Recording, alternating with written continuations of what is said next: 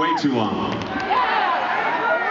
We've been flying around in a circle for the last, I don't know, six years. And slowly we've just been getting closer and closer till we found Amsterdam again. I blame all of this on Mike.